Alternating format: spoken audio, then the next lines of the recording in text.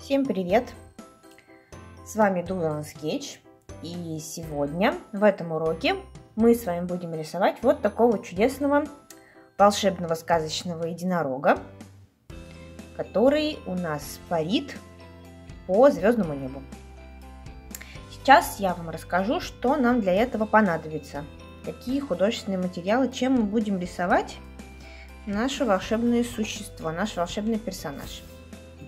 Нам понадобится стерка, карандаш простой, клячка. Если нету клячки, не страшно, можем обойтись без нее. Дальше. Нам понадобится маркер. А, для тела единорога нам понадобится два фиолетовых маркера. Один посветлее, другой потемнее. Для э, рога нам понадобится желтый маркер и такой средний теплый коричневый маркер. Для гривы и хвоста мы будем использовать тот же темный фиолетовый, который был у нас в туловище единорога. Будем использовать тот же теплый желтый, который был в роге. И также будем использовать яркий желтый, яркий красный, синий яркий, зеленый и голубой. Для э, неба ночного мы будем использовать темно-синий маркер. Такой он называется Midnight Blue, полночный голубой. Это такой синий-серый цвет. В принципе, можно либо очень-очень темно-синий здесь использовать цвет, тоже подойдет. А для теней, которые мы чуть-чуть будем накладывать на рог, на гриву, мы будем использовать маркер VG2. Это такой светло-серый цвет. Также для создания вот таких вот а, аккуратных ореолов звезд в стиле боке, как это называется, мы будем использовать блендер. Если у вас его нет, не страшно, мы сможем обойтись без него. Для того, чтобы обвести нашего единорога по контуру, мы будем использовать линер. Обязательно проверьте, что линер водостойкий. Когда будете покупать его в магазине, э, спросите обязательно продавца или в интернет-магазине, читайте описание, а должно быть указано, что линер водостойкий. У меня это линер Touch, толщина 0,3. Нам понадобится белая гелевая ручка, подойдет любая. У меня это Sakura Jelly Roll. Опционально, не обязательно, но если есть а, белый цветной карандаш или пастельный карандаш, ну, также может нам пригодиться. Сейчас я сделаю выкраску цветов.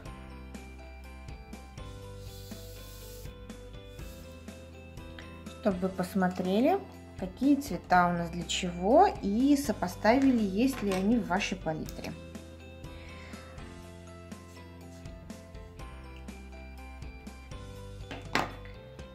Этими цветами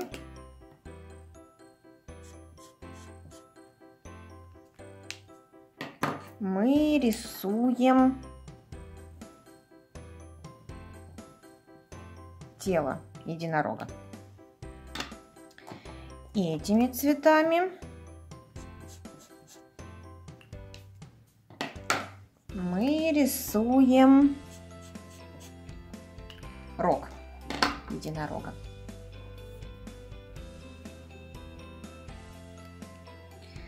Далее этот же желтый и этот же фиолетовый у нас будут использоваться в рисовании гривы. Поэтому мы здесь дублируем. Грива и хвост. С гривы на хвосте и грива на голове. Голубой у нас еще в гриве.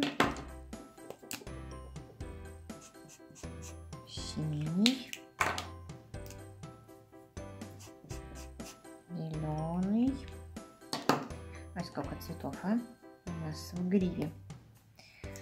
Можно заметить какие-то другие яркие цвета, которые у вас есть. Вот такой желтый, более лимонный, холодный. и яркий красный.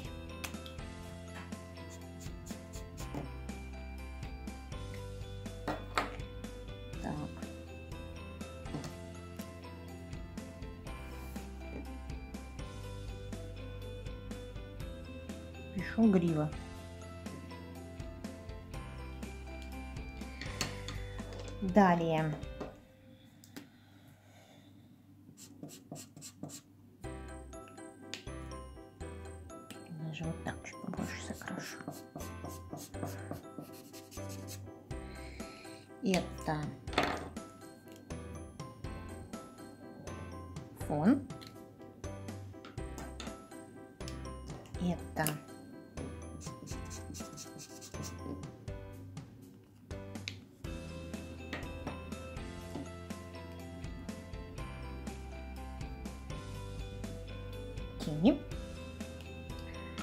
У нас остается блендер, собственно, линер, то, что нам нужно, водостойкий.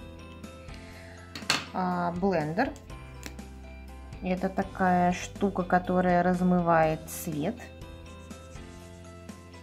Не уверена, что получится на а, офисной бумаге. Сейчас попробуем. И она создает эффект боке эффект размытия.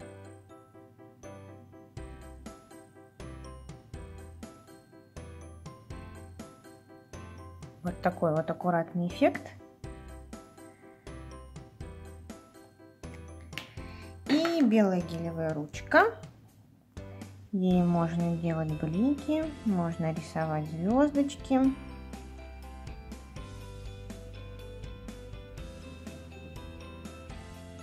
Тоже очень полезная вещь. Белый пастельный карандаш, ну у меня цветной, это для чуть-чуть очень легкого высветления каких-то темных участков, которые мы захотим сделать. Все, это весь набор для нашего чудесного единорога. Давайте приступать.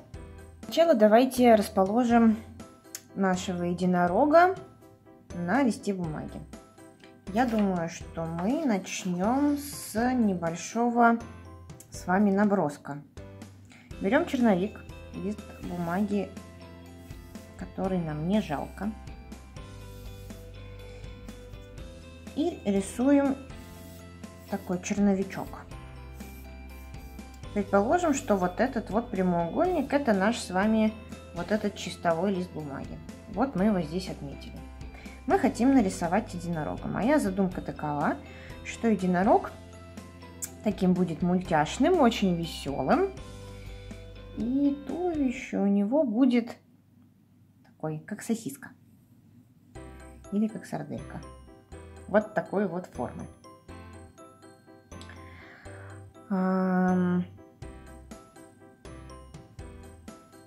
Сам он тоже будет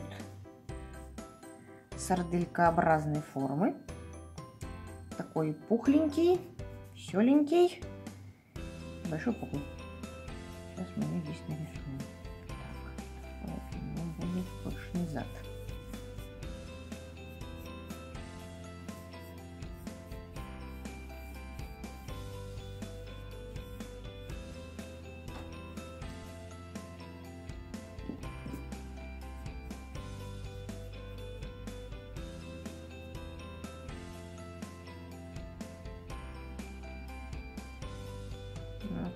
Как-то крупновато. Похож на какого-то некрасивого червяка. Нет, не пойдет. Сокращаем.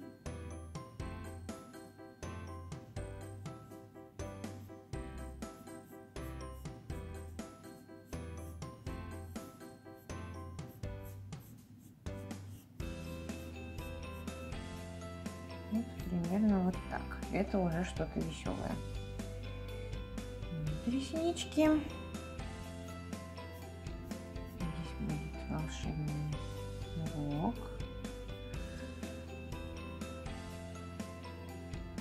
С завитушками. а, уши, ухо. Здесь у него будет его волшебная грива в разные стороны будет начинаться.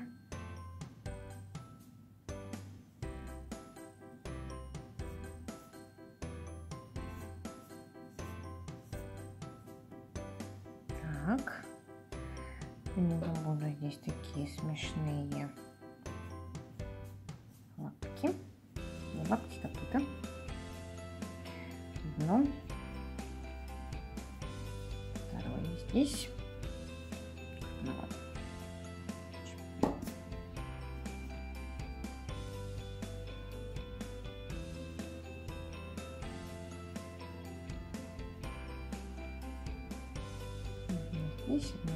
одно. Вот так. И одно. Вот так. Здесь хвост. С завитушками тоже. Вот у него пятнышки. А, вот такой будет у нас волшебный единорог. Давайте перенесем его а, на наш чистовик. Я начинаю рисовать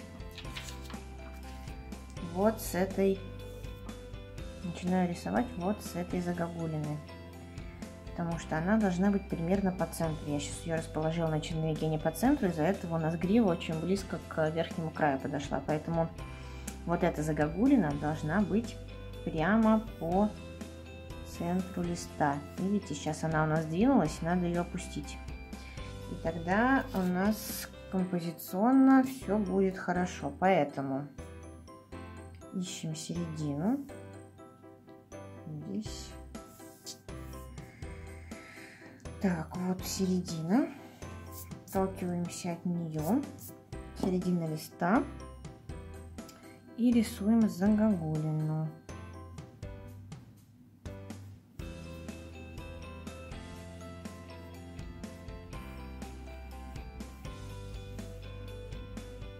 Вот так. Дальше из этой загогулины начинаем рисовать голову нашего единорога. Помним, что он у нас похож на толстенькую сардельку с большой попой. Волшебный, естественно.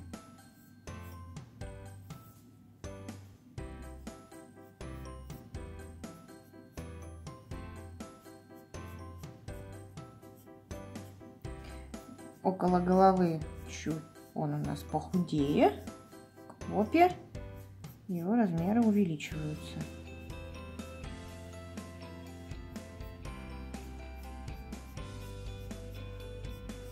Так, получается вот так. Угу. Далее у него есть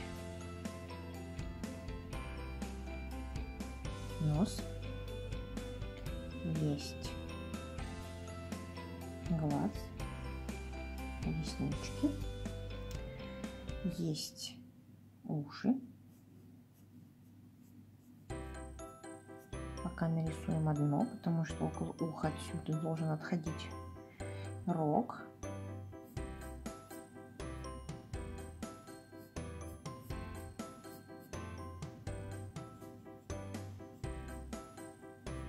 Рог у нас витой.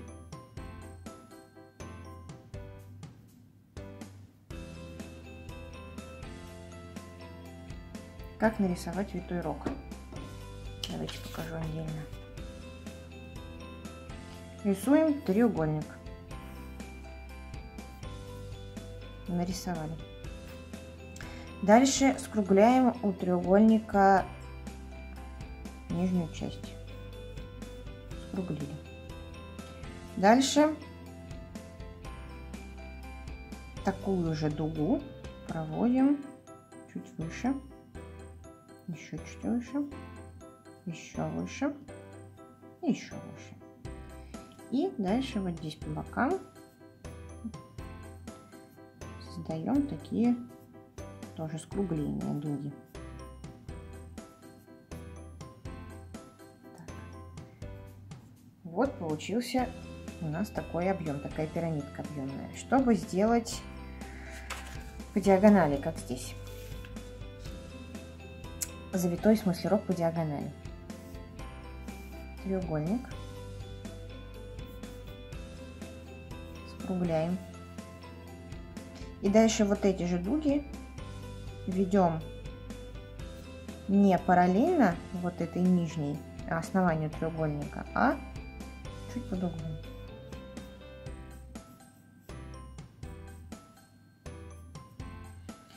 И опять скругляем.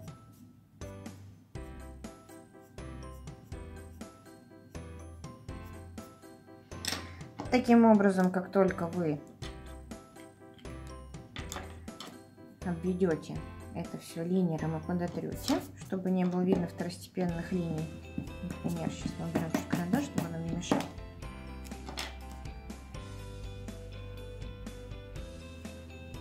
Вводим линию.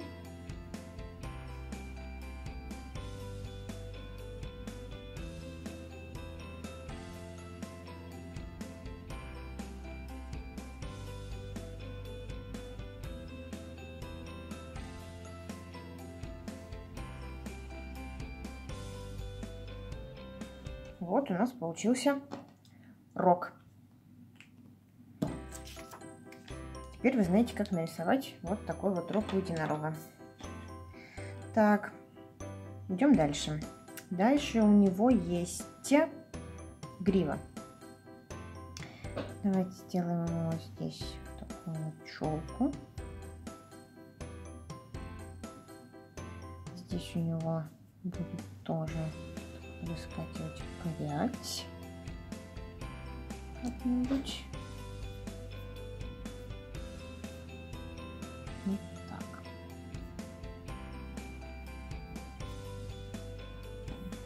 Это лишнее.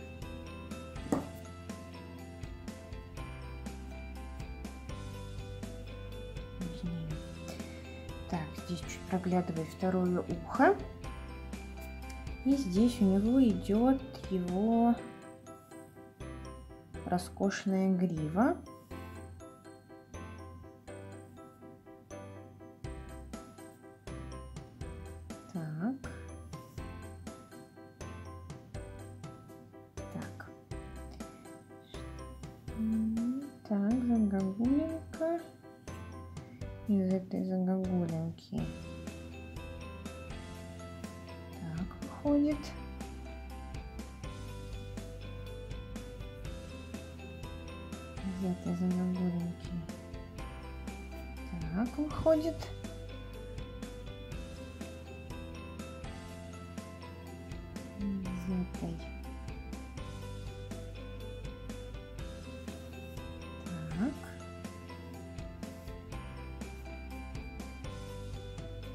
Остальные у нас будут такие основные а, элементы гривы. Остальное это будет а, как бы вплетено. на эти элементы мы сделаем основной опор, остальные будут как бы за ними.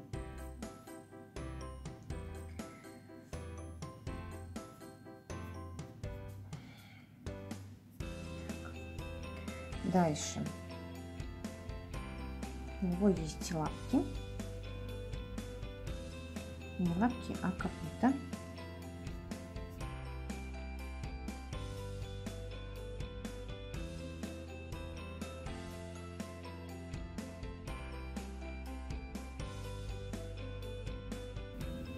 Как-то длинновато задние, да, наверное, получились по сравнению с передними. Или надо передние сделать длиннее. Давайте мы сделаем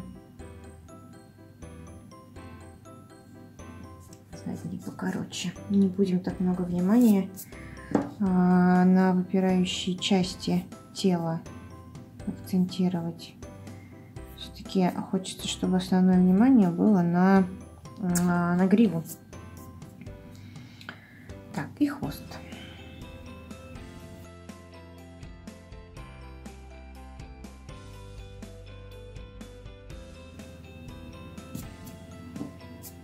Так, вот такой у нас получился единорог.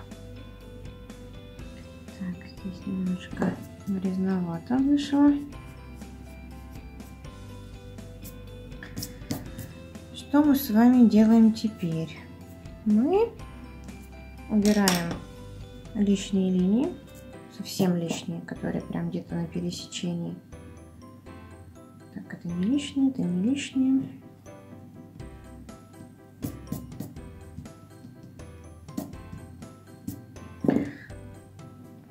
Дальше берем клетчку, либо стеркой.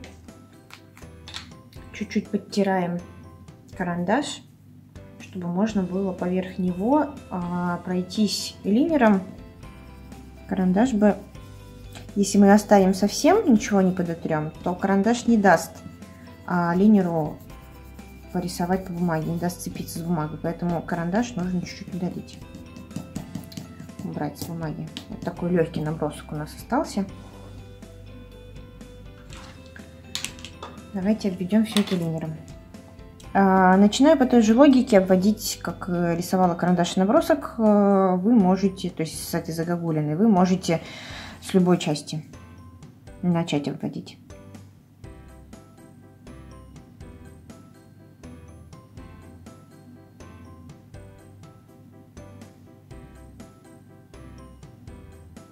Там, где ноги, я линь, то есть э, я не провожу линию всего туловища, там, где ноги, линия прерывается и переходит плавно в копыта.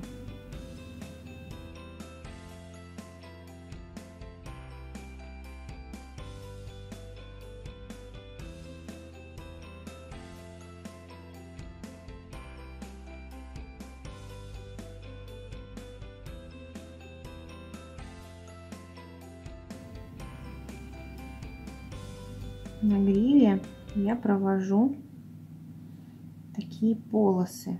Эти полосы мы будем как радугу закрашивать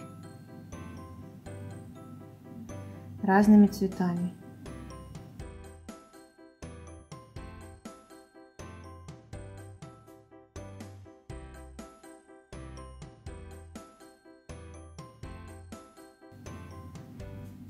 Хвост а по той же логике ведем волосами.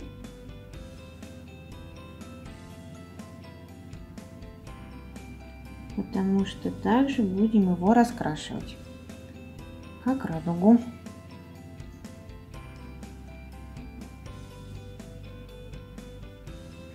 Все, готово.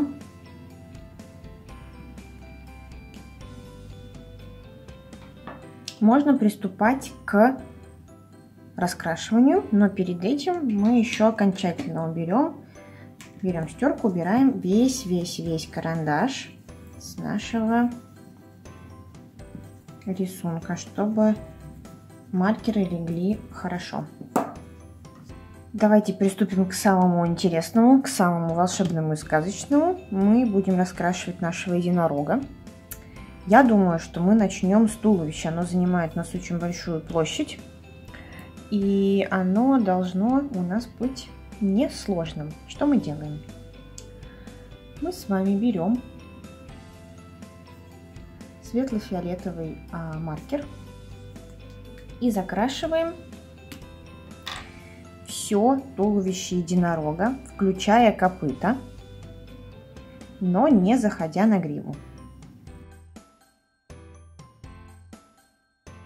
Почему мы закрашиваем все, даже копыта?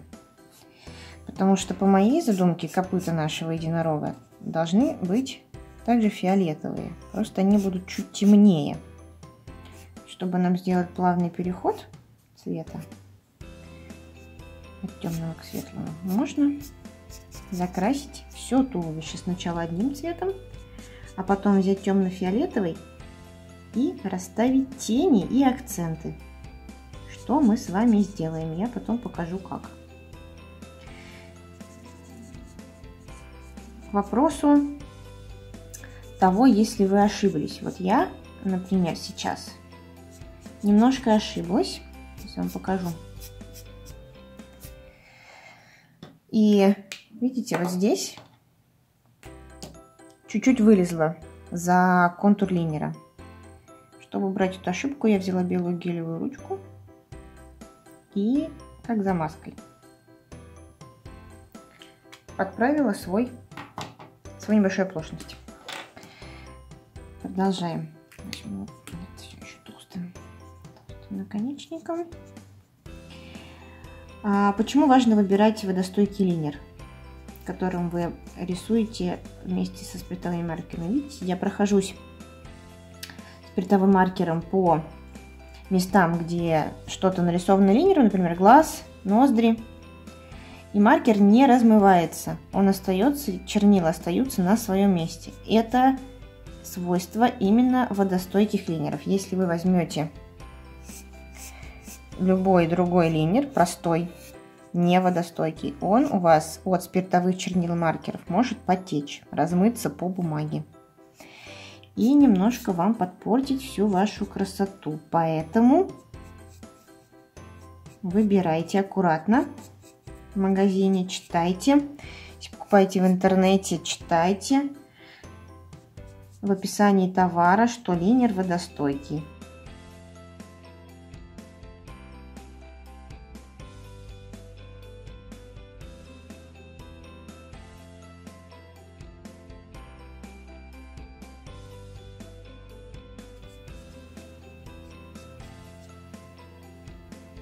Так, закрасили. А благодаря тому, что бумага специальная для маркеров, и маркеры у нас тоже с вами профессиональные, это позволяет положить цвет и не видеть на вашем рисунке таких характерных полос, как, например, от фломастера, или если бы мы взяли обычную бумагу, или бы непрофессиональные маркеры. А, эта бумага, она впитывает маркерные чернила, и как будто бы немножко они начинают по ней растекаться. И таким образом получается очень плавный переход. То есть вы все закрашиваете, даже если вот сейчас потрогать еще пальцем, чернила еще даже не высохли. То есть бумага, она немножко еще держит эти чернила. Мы сейчас можем даже начать накладывать темный цвет поверх. Он тоже будет немножечко растекаться. Именно это свойство профессиональной маркерной бумаги дает возможность делать красивые иллюстрации без вот таких вот полос. Как если бы я, например, сейчас взяла обычную офисную бумагу и на ней бы провела, видите, вот эти полосы. Вот на профессиональной а, маркерной бумаге таких полос у вас не будет. Хотя, хотя, теоретически, если иллюстрация не очень ответственная, если вы как-то рисуете хотите попробовать какой-то сюжет, офисная бумага может подойти, в принципе, вполне для каких-то первых а, набросков.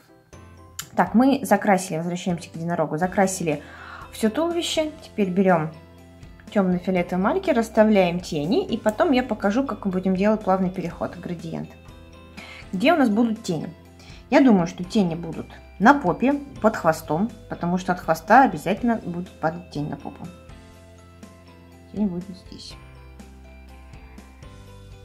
Потом у нас будет тень вот здесь на копыте, потому что тоже падает тень от хвоста.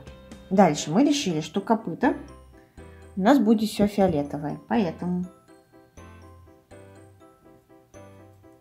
оставляем такой маленький блик, все копыта закрашиваем. Так, здесь тоже тени. И здесь тени. Потому что копыта они все внизу, под туловищем. Будет обязательно падать тень от туловища. Копыта будут в тени.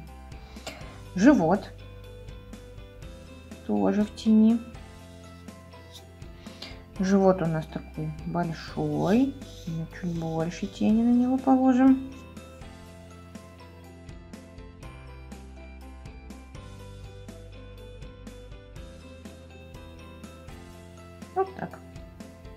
Дальше здесь будет тень от гривы обязательно на туловище.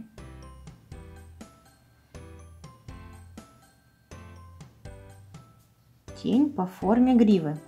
Раз грива отбрасывает тень, то тень будет такой же формы, как и грива. Как и тот предмет, который эту тень отбрасывает. Лично предположить.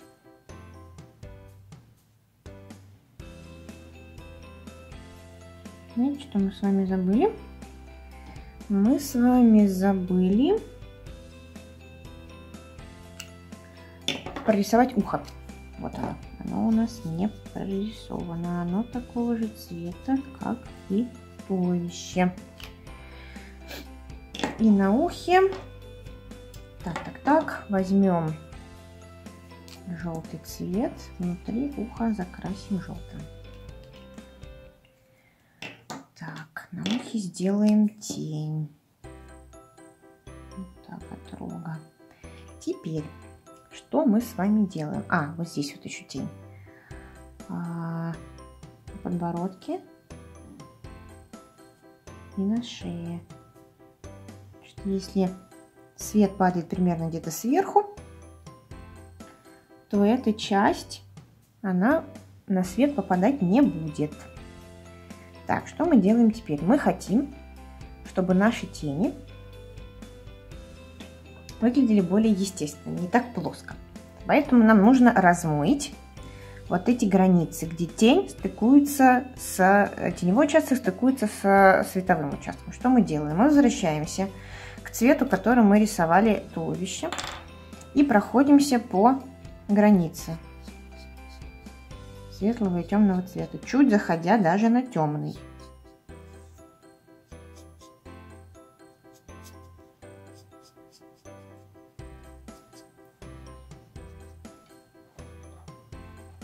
Я возьму широкий наконечник, чтобы лучше размывать. Будем делать градиент.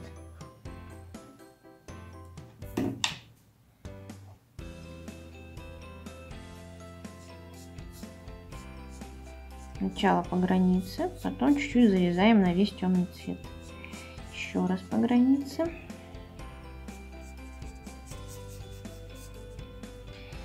Маркер начинает растекаться.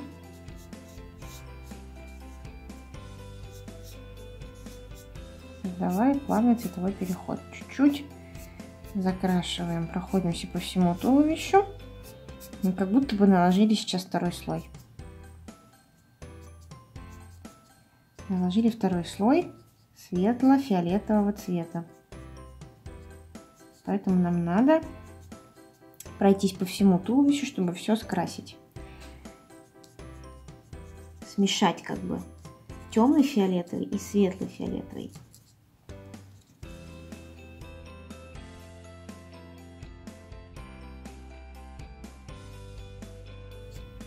Проходимся по темно-фиолетовому цвету светлым до тех пор, пока нас не устроит результат. Пока нам не будут нравиться те тени, которые мы получили. Маркер, движение маркера по телу идет по форме тела. То есть если у нас тело идет вот так, то и маркер у нас закрашивается, закрашивает тело такими же движениями. Думаю, да, отлично, то, что нужно. Теперь, если у вас есть блендер, хорошо. Если нету блендера, можно воспользоваться. А, у меня это белый пастельный карандаш. У вас это может быть белый цветной карандаш. Я хочу сделать а, больший блик вот на этой части туловища, потому что если свет падает сверху, эта часть будет самой освещенной. Ее надо сделать чуть светлее. Если у вас есть блендер, вы проходитесь по этой части блендером. Очень аккуратно, без фанатизма проходитесь. И получаете светлый блик. Возвращаемся к светло-фиолетовому и чуть растушевываем границу.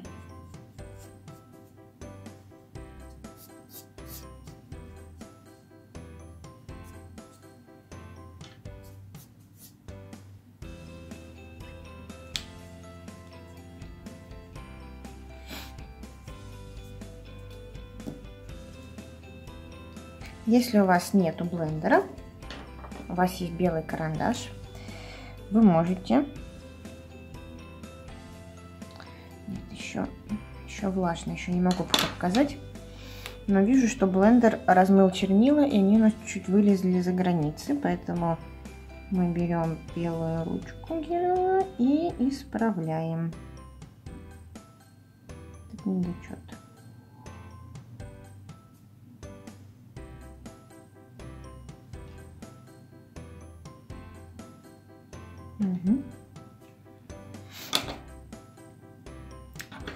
Если у вас есть белый пастельный карандаш, вы можете, не используя блендера, пройтись белым пастельным карандашом или цветным карандашом вот по этой области.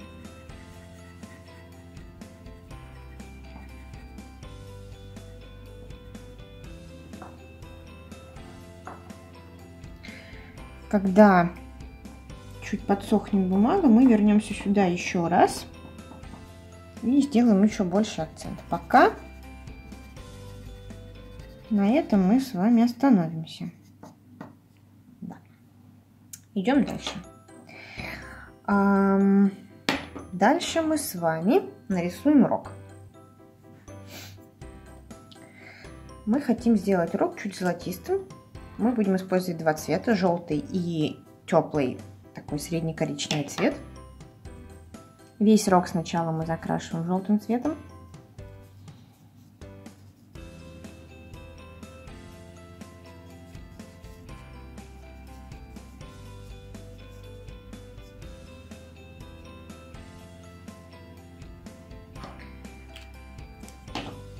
Берем коричневый, расставляем тени. Где у нас будут тени? На стыках. Верхняя часть всегда будет отбрасывать тень на нижнюю и иметь тень сама.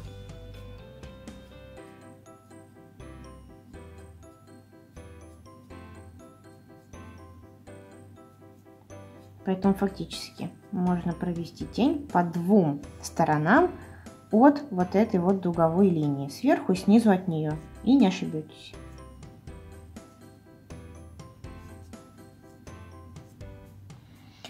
Чуть-чуть сделаем тень в ухе. Отлично. Возвращаемся к желтому цвету светлому и чуть-чуть по границе проходимся, размываем немножечко тени, делаем плавный переход. Отлично. Так, забыли размыть тень на ухе. Я взяла светлый фиолетовый и чуть заезжая на темный, размываю тени в ушах, на ушах. А здесь я взяла темно-фиолетовый и хочу по самому краешку пройтись, чтобы сделать, мы чуть размыли же тени. В тех местах, где они самые-самые темные, хочется их немножечко по ним пройтись, повторить, обновить и освежить, скажем так.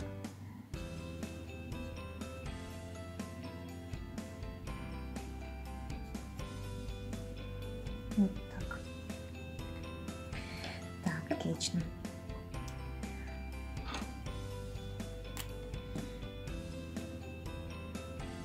Чуть-чуть тут не слезла негодница. Так, что мы имеем дальше? Дальше мы с вами будем рисовать хвост и гриву. Мы берем 4 наших ярких маркера. Желтый, красный, зеленый, синий. И в произвольном порядке стараясь, естественно, а, две, одинак... две полосы одинакового цвета не располагать рядом. Закрашиваем нашу гриву как радугу. Покажу пример. Например, берем, видите, какой еще, наверное, возьму. Немножко мне здесь не хватает. Синий яркий, да, немножко не хватает мне голубого. Я взяла еще голубой цвет Берем тонкий наконечник.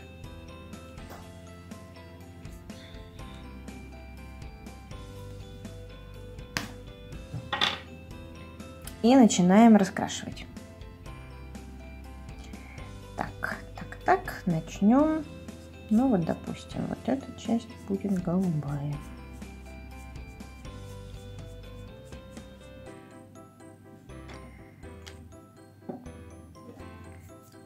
Вот здесь хочу синюю. Все, дальше уже включается фантазия. Главное, не располагайте два цвета рядом. Я имела в виду два синих рядом. То есть, чтобы две соседние пряди не были окрашены в одинаковый цвет. Вот это я имела в виду.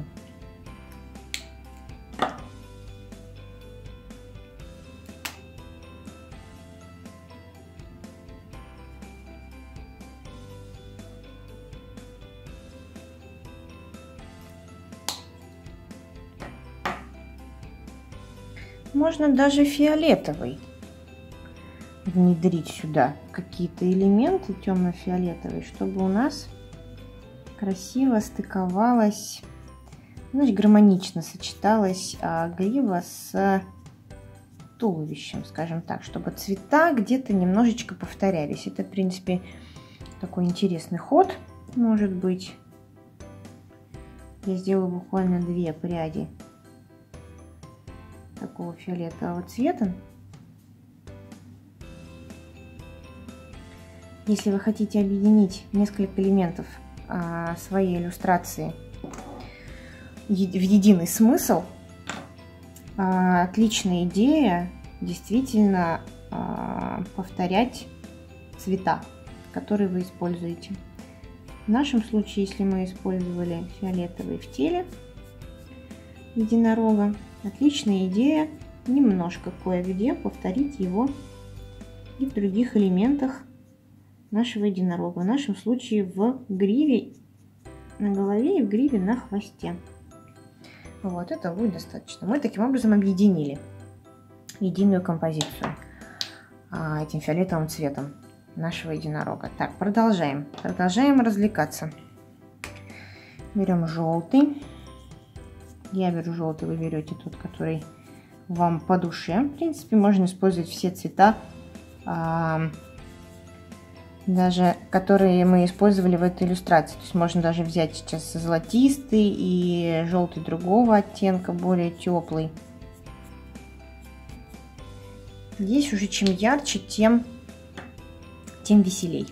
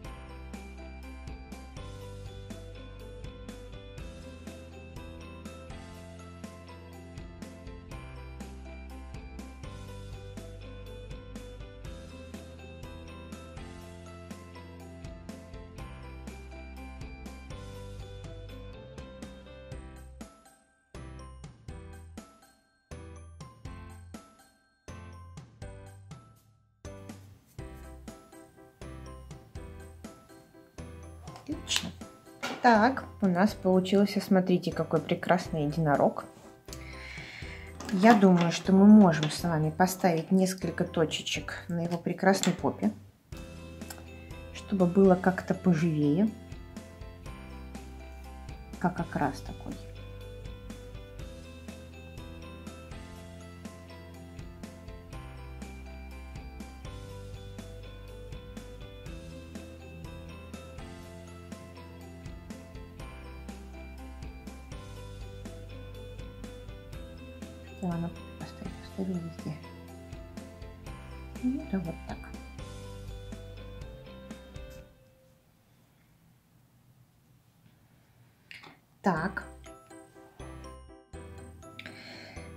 Так, мы с вами закончили нашего единорога. Давайте я сейчас тут подправлю, если где-то... Подправляем, если где-то ошиблись. Я вот подправлю вот тут. Теперь что мне не хватает? Мне не хватает немножечко теней и объема. Как мы это сделаем? Мы это сделаем с помощью серого цвета. Возьмем сейчас светло-серый цвет. У меня это VG1. Пройдемся по теневым местам. Теневые места на гриве. Это вот здесь. Это вот здесь.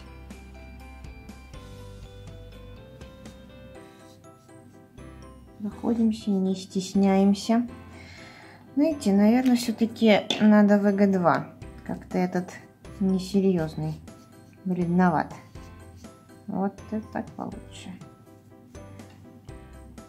Рог, челка,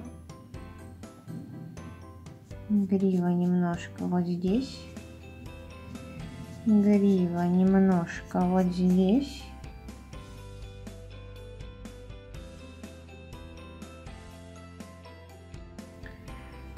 Вот здесь. Чуть берем еще темнее, ВГ3 для живота.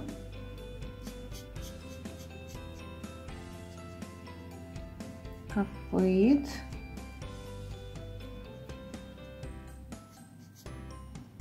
Подбородка, место около гривы, под ушами, рогом.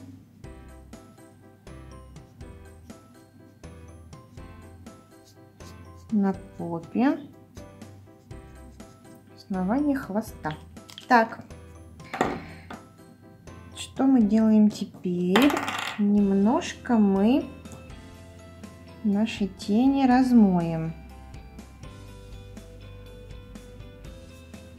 Пройдемся повторно теми же цветами по теням.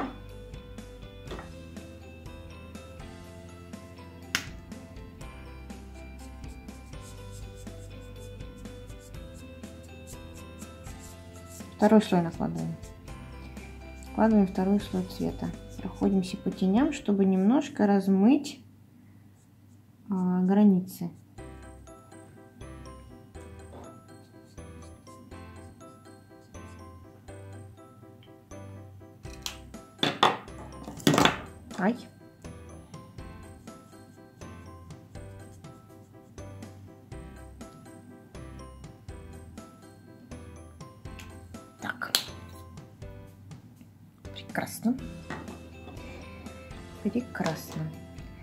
Что мы делаем теперь? Я теперь предлагаю, либо мы на этом с вами останавливаемся. Чуть вот здесь я теней побольше сделаю на роге. Либо мы с вами на этом моменте останавливаемся, либо мы делаем с вами волшебный фон. Я думаю, что я фон сделаю. Вы на ваше усмотрение, как вам будет здесь угодно и будет ли вам это интересно и есть ли у вас на это желание. Я хочу сделать вокруг единорога такое какое-то сказочное, может быть, немножечко ночное небо. Он такой спящий, куда-то летящий. мне кажется, что можно ему сделать такой красивый какой-то ночной антураж вокруг. Поэтому я его сейчас закомпоную в круг. У меня нету циркуля, но у меня есть кружка. Поэтому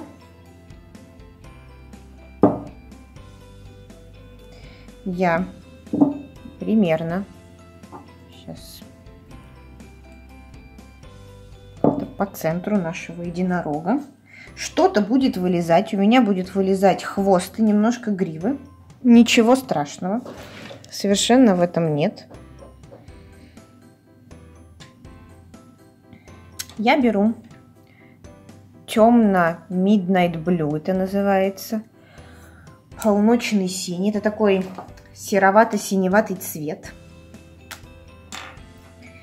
И обвожу по кругу нашу кружку. Не залезая на гриву и хвост. Они у нас здесь чуть выпирают. То, что они выпирают, это даже интересно. Это даже задаст некую чуть больше динамику нашей с вами иллюстрации. Так что в этом только плюс. Так, что мы получили? Оп! Вот такую красоту мы получили.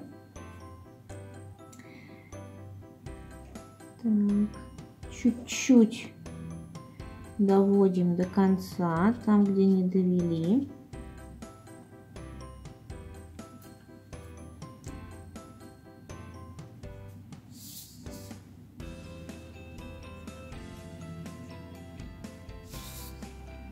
выравниваем линии и начинаем закрашивать. Закрашивать все внутри. У нас будет ночное небо. Я всегда предлагаю закрашивать по контуру и по периметру объекта сначала. И только потом большие площади. То есть сначала мы закрашиваем все вдоль нашего единорога.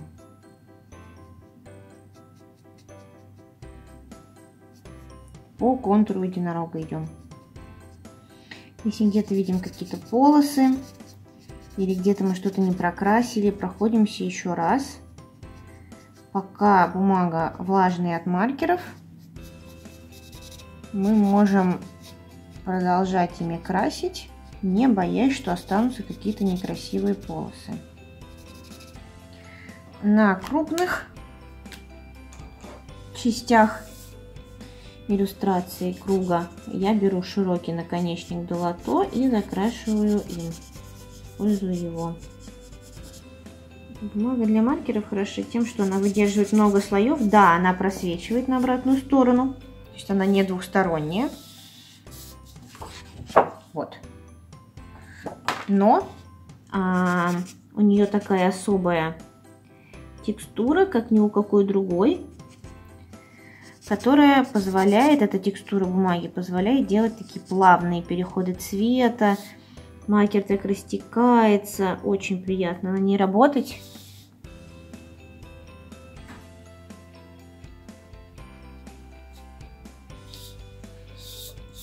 Я уже верчу иллюстрацию как угодно, потому что мне удобно работать именно под этим углом.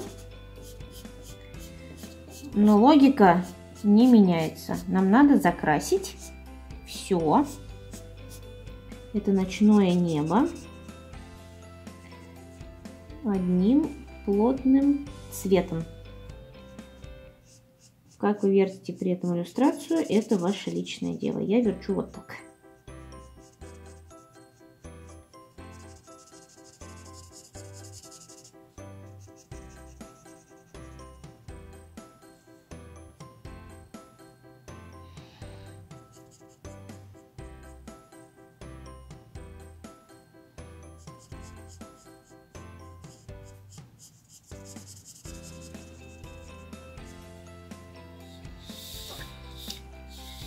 Так, а, мы думали над тем, оставить ли это белым или чем-то закрасить. Раз мы делаем фон, мы закрасим это фоном. Гривы здесь уже не будет. Так, здесь я беру тонкий наконечник, здесь сложно работать с толстым наконечником, чтобы никуда не заехать.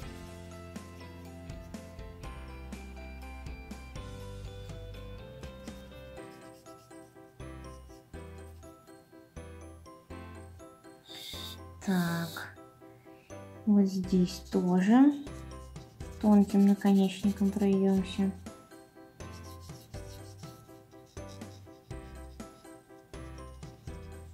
Сначала закрашу. Смотрите, мы здесь с вами красили белой ручкой гелевой. На нее не так хорошо ложится маркер, поэтому тут нужно аккуратно по ней пройтись поверх нее пару раз вот этим вот темным цветом, чтобы она тоже закрасилась.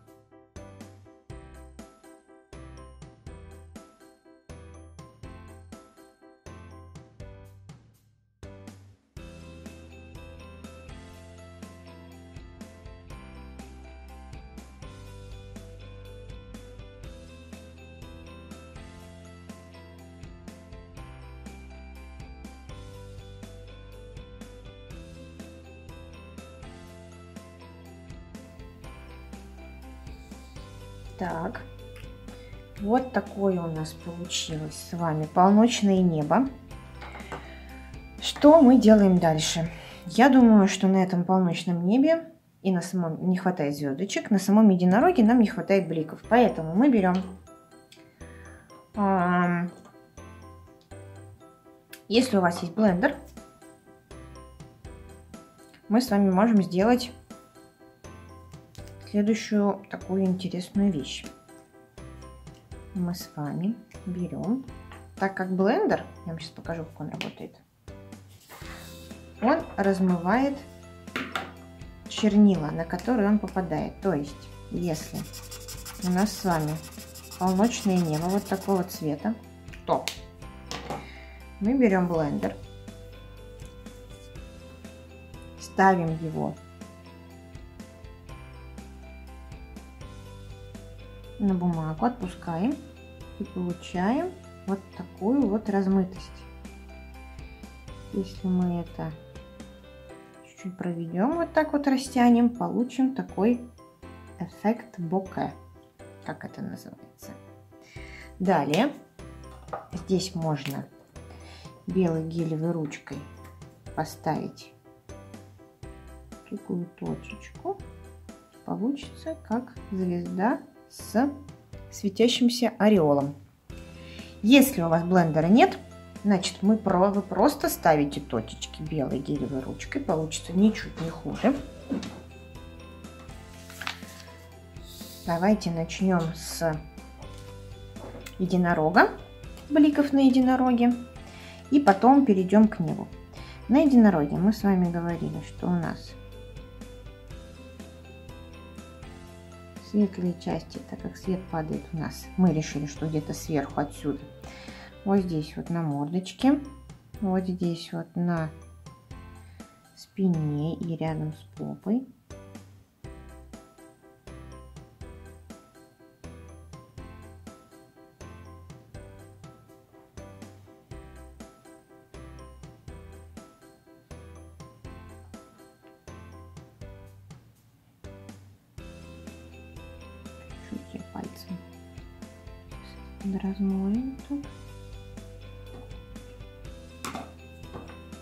Где вылезла белой гелевой ручкой.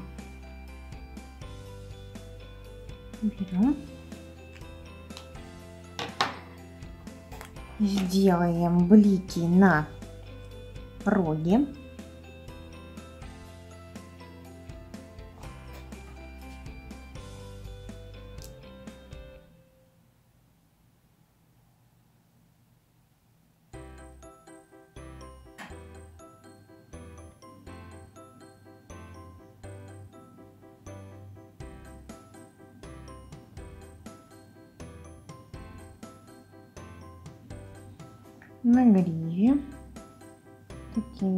Такими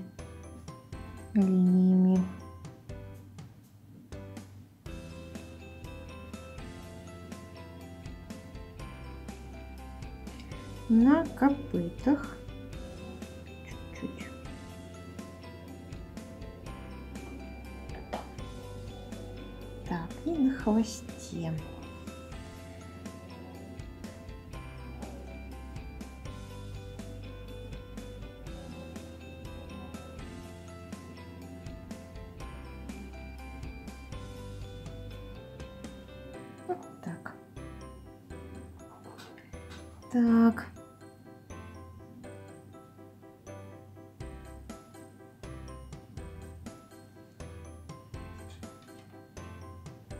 Ну что, приступаем к звездам. Берем блендер, ставим, чуть-чуть ждем, пускаем и вот так вот размываем. Можно просто поставить. Поставить, подержать и размыть, если мы хотим побольше эффект.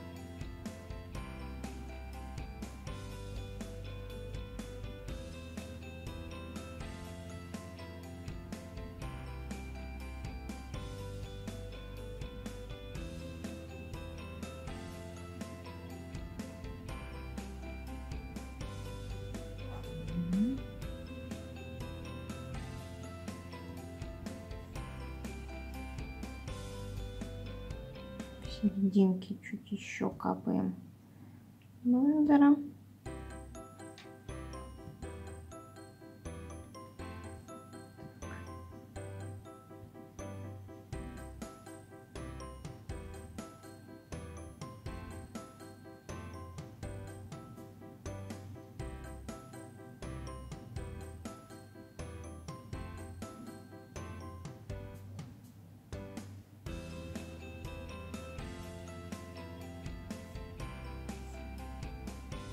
Угу. Ну, я думаю, достаточно. И теперь надо подождать, пока все это высохнет.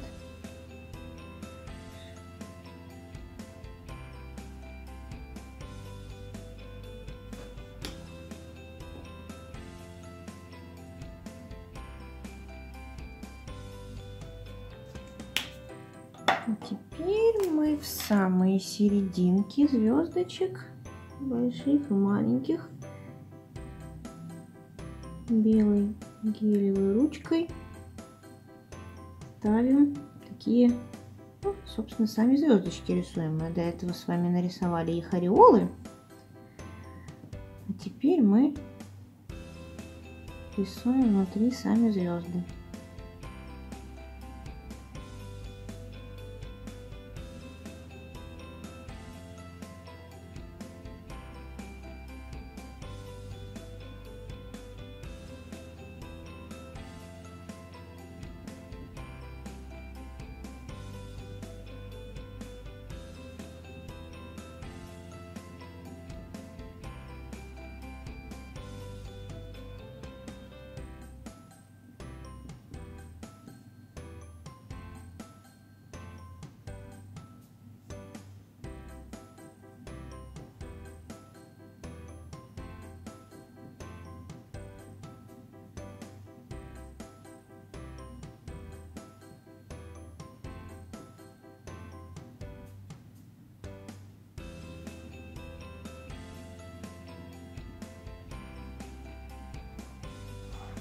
Вот такой у нас получился с вами волшебный единорог.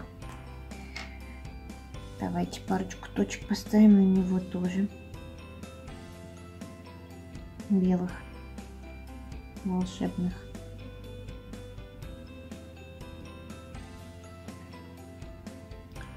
Вот такой у нас с вами получился единорог. Ребят, смотрите. По мне так очень удачно. Мы с вами сегодня порисовали. Сейчас я вот здесь чуть белую ручку еще растушую. Карандашом. Чтобы поплавнее был переход. Так она жестковато легла немножко на бумагу.